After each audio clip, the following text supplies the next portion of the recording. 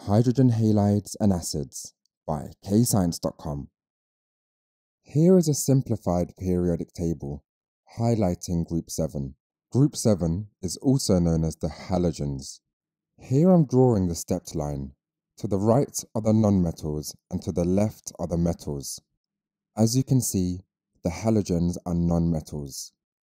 Zooming in on Group 7, we can see fluorine is the first element in Group 7 followed by chlorine, then bromine, then iodine, and finally astatine.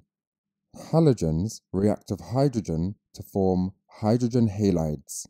The word halide means a halogen has reacted with something. It could be an ionic bond or a covalent bond. So hydrogen reacts with fluorine to form hydrogen fluoride. Both the reactants and products are gases, and we're now going to work out how to write a balanced symbol equation. H2 reacts with F2 to form HF, and there are 2 moles of hydrogen fluoride. Pause now to try and figure out what are the word equations for when hydrogen reacts with chlorine and bromine, figuring out what are the reactants and what are the products. So hydrogen reacts with chlorine forming hydrogen chloride, and hydrogen reacts with bromine, forming hydrogen bromide. Pause now and complete the balanced symbol equations for when hydrogen reacts with chlorine and when hydrogen reacts with bromine, and the answers will follow. H2 reacts with Cl2, forming HCl. Now let's balance this.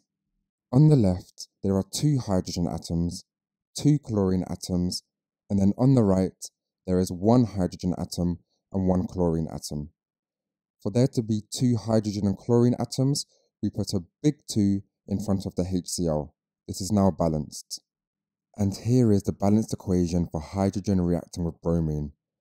This reaction follows the same rules as the two above. It's question time. Attempt these questions to check your understanding.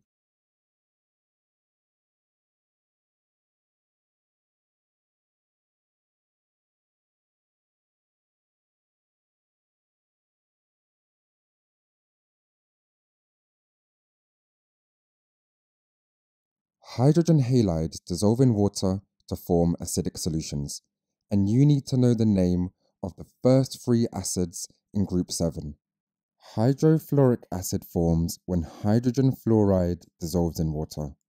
The hydrogen fluoride molecules break or dissociate into their ions, H plus and F minus.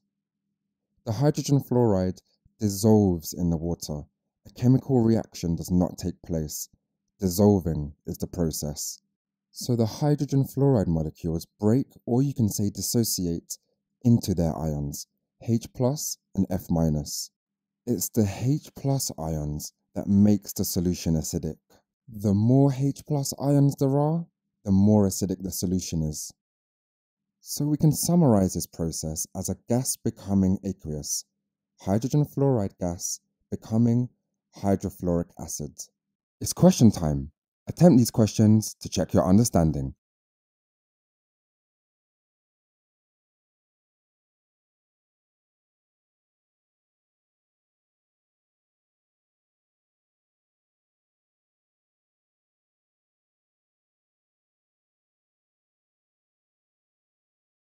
Hydrochloric acid forms when hydrogen chloride gas dissolves in water.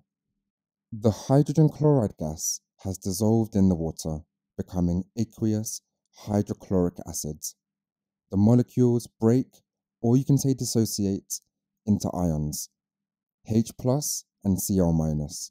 Remember, it is the H plus ions that makes the solution acidic. Hydrobromic acid forms when hydrogen bromide gas dissolves in water.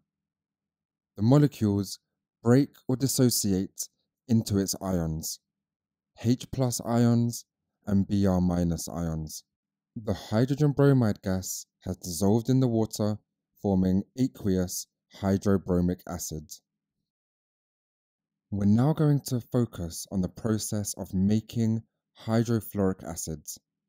Your exam could ask you about hydrofluoric acid, hydrochloric acid or hydrobromic acid. It's the same processes, it's just a different halogen is used. So the first process that happens is a chemical reaction. Hydrogen reacts with fluorine to make hydrogen fluoride.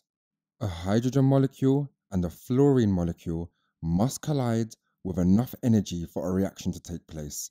If they do not collide and they do not have the activation energy, a reaction will not take place.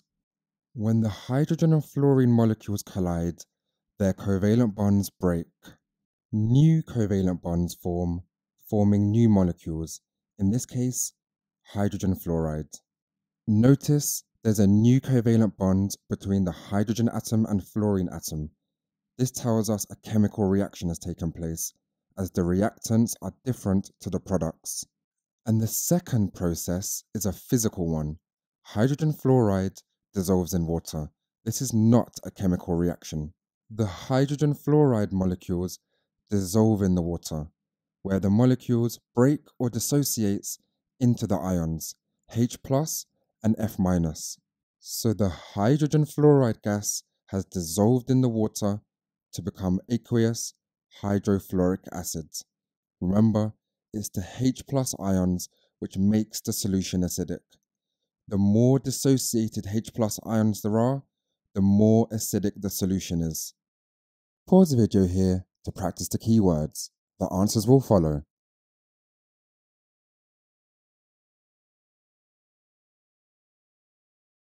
Press pause to answer the questions. The answers will follow.